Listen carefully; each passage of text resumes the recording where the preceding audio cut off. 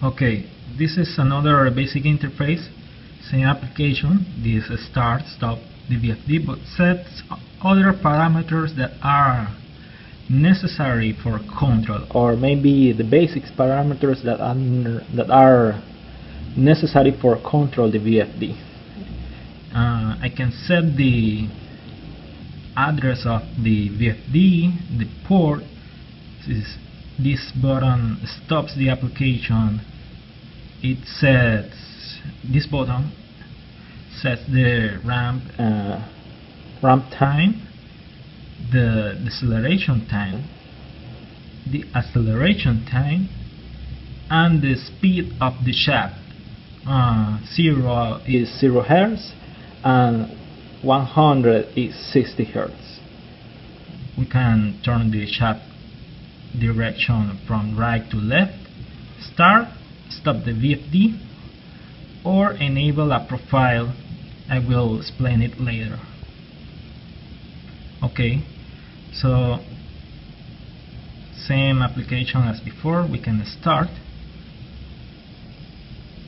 and view the frequency change graphically.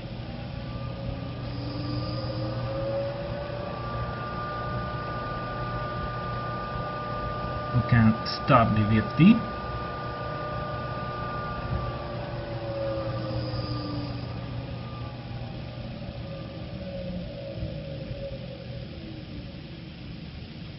okay.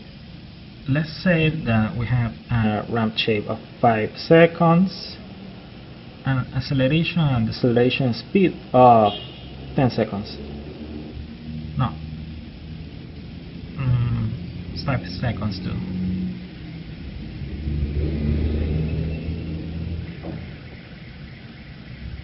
let's turn in at 50% of the speed we will set the ramp set the deceleration, set the acceleration and the velocity of the uh, VFD.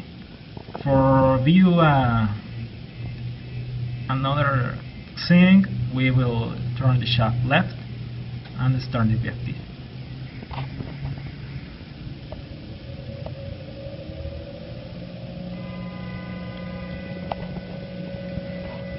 If you get a little curious, we view that the shape of the ramp is like an S. Let's turn it to 10 seconds ramp shape to view the change of the ramp when we start the VFD.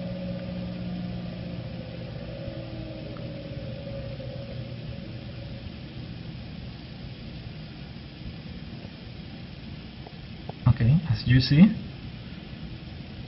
maybe the ramp shape of 10 seconds. Is like an S here and here.